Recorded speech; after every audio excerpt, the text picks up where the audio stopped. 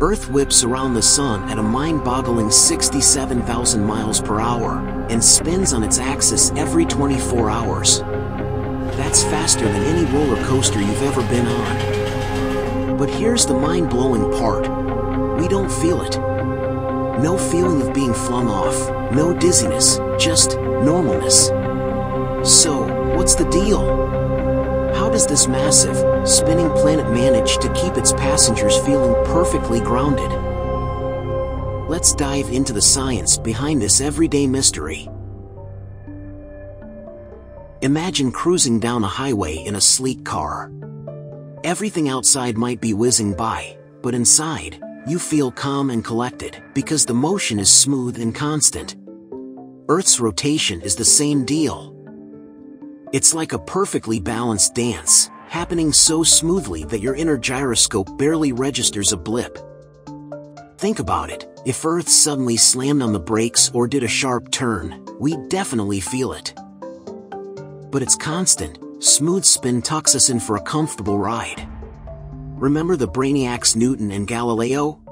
They dropped some knowledge bombs about motion. Turns out, movement only matters when it's compared to something else. Imagine a calm day at sea on a giant cruise ship. Are you moving? Without looking outside, you wouldn't be able to tell. That's because you're moving at the same speed as the ship, making your relative motion zero. The same goes for Earth and everything on it. We're all spinning together, air included, so there's no relative wind rushing past to give us a clue about our high-speed journey. Ever been on a carnival ride that spins you until you feel like you might take flight? That's centripetal force trying to pull you outwards. Earth spins too, but guess what's way stronger? Gravity. It's like a giant magnet keeping us firmly rooted to the ground, even as the planet goes its merry spin.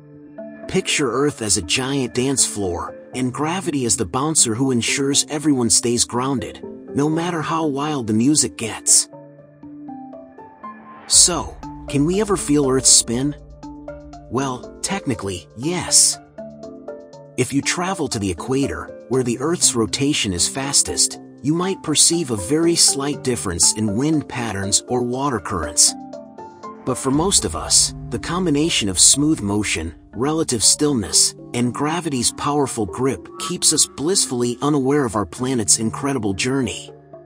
The next time you're feeling grounded and stable, remember, you're actually hurtling through space on a giant, spinning rock.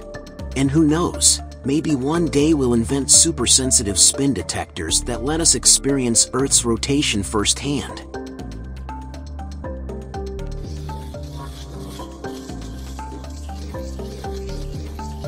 This is the Brain Maze, signing off.